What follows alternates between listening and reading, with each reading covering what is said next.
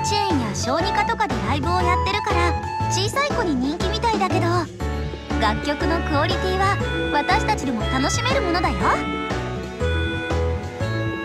誰もが認める実力派なのがやっぱりロゼリアね。ボーカルの湊ゆきなをはじめ演奏スキルはプロ級。音楽業界が今一番注目してどのバンドもそれぞれ個性が違いそうで面白そうですね。そうなの。このイベントはねたくさんの個性を持ったバンドが集うパーティーみたいにしたいなって思ってるんだよね。それでそのパーティーを成功させるためにみんなには早速ロゼリアのスカウトに行ってほしいんだけど。もちろん手伝いますよ。はあ？ちょ勝手に。私いろんなバンドに出会ってみたい。だよねだよね。ただ演奏技術は十分あるんだけど彼女たちすっごくストイックで真面目らしくて自分たちが納得できるステージじゃないと出演しないみたいなの。マリナさん何事もチャレンジですよ。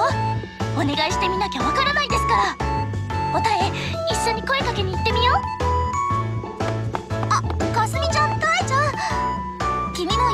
きて。彼女たちさっきこの辺りで見かけたの。まだ遠くには行ってないはずだよ。はいダッシュダッシュ。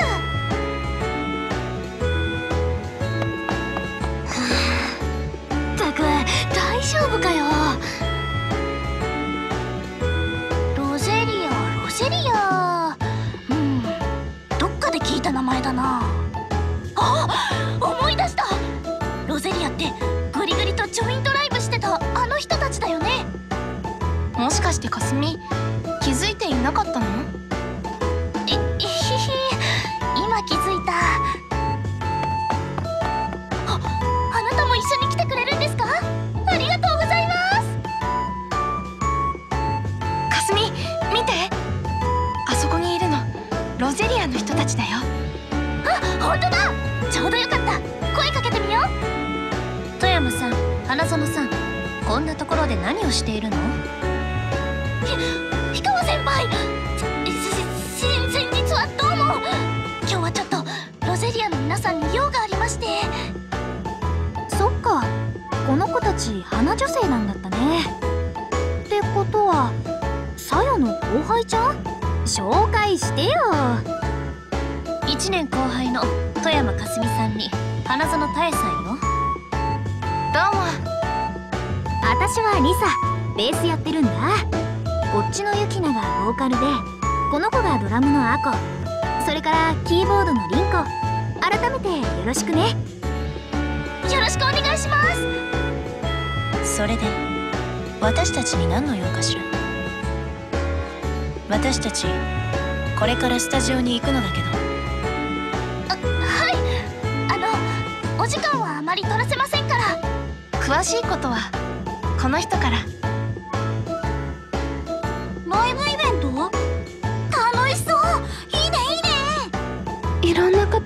くさん出るんですね。